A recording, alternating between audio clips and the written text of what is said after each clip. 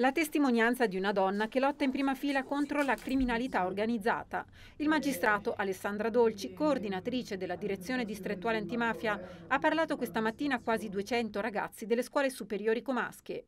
L'incontro, organizzato dal Centro Studi Sociali contro le Mafie Progetto San Francesco e Comune di Como, si è tenuto nella biblioteca di Como, intitolata proprio a Paolo Borsellino. Ha condotto il giornalista Francesco Condolucci, che ha dialogato con il magistrato Dolci e con il consigliere regionale regionale Angelo Orsenigo, componente della Commissione antimafia della Lombardia. Alessandra Dolce ha raccontato che dopo le stragi del 1992 la sensibilità e la coscienza del paese sul fenomeno mafioso cambiarono radicalmente.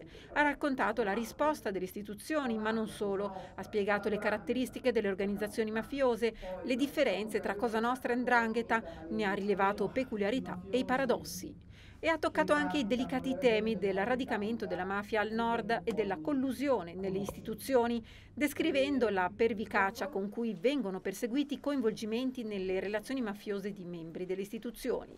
Il consigliere regionale Orsenigo ha aggiunto di essere convinto come la missione, il lascito di Falcone Borsellino a 30 anni da Capace Via D'Amelio, sia diffondere tra le nuove generazioni la consapevolezza di cosa sia la mafia oggi.